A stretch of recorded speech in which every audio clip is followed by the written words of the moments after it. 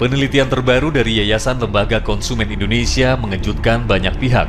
YLKI mengungkapkan ada 9 merek pembalut dan 7 panty liner di Indonesia yang mengandung zat berbahaya, salah satunya klorin.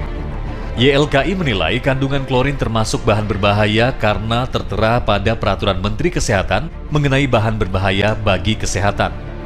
Zat klorin sendiri biasa digunakan sebagai pemutih, Zat klorin juga cepat bereaksi terlebih bila bahan pembalut bukan kapas murni. Akibatnya bisa menghasilkan dioksin dan menjadi pemicu kanker.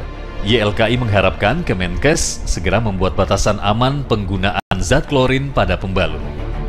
Yang jelas gini, yang harus e, jadi rujukan itu adalah peraturan pemerintah. Jika pemeran, pemer, peraturan tidak ada, bagaimana pelaku usaha mau merujuk gitu loh.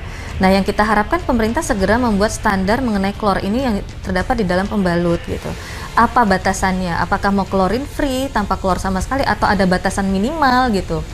Min, sangat minimal gitu. Berapa batas sangat minimal itu gitu. Tapi tidak mungkin seperti ini gitu dengan rentang yang sangat tinggi sekali 5 sampai 55 ppm gitu.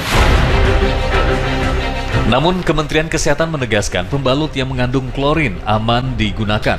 Pembalut maupun panty liner yang beredar di Indonesia telah melewati proses uji laboratorium dan mendapat izin edar. Selain itu, Kemenkes juga menyatakan klorin yang digunakan masih di bawah ambang batas. Tim Reportase Jakarta